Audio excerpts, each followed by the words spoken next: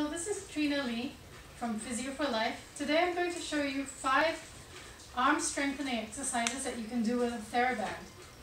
Here I have a blue TheraBand, so it's a moderately strong resistance. For the first exercise, you hold the TheraBand like that, and all you do is wind it once around your hands, holding firmly about shoulder width apart. We're just going to push out to the side keeping the elbows close to the body.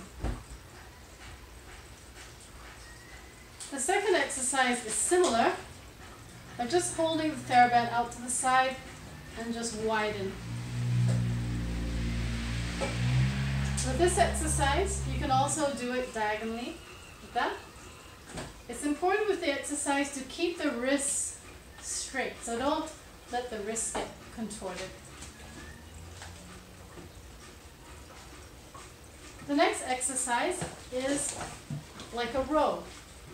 So you can just pull like this, or you can wind the end around your hand and then just pull back. Using your foot to anchor the TheraBand. There's different ways to modify this one. You can also pull wide, and that makes it a bit harder. The next exercise is the forward press. So with the TheraBand behind the back, I'm just going to loosen this and we can push forward. If you want to make it harder, you can just wind it once around your hands just to make the resistance stronger. And the last exercise is for biceps and triceps. So for triceps, just having one hand on top, one hand below, I'm going to push down.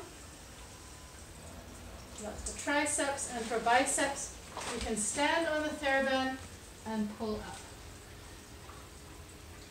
Repeating the same exercise on both sides. Thank you for watching. Bye for now.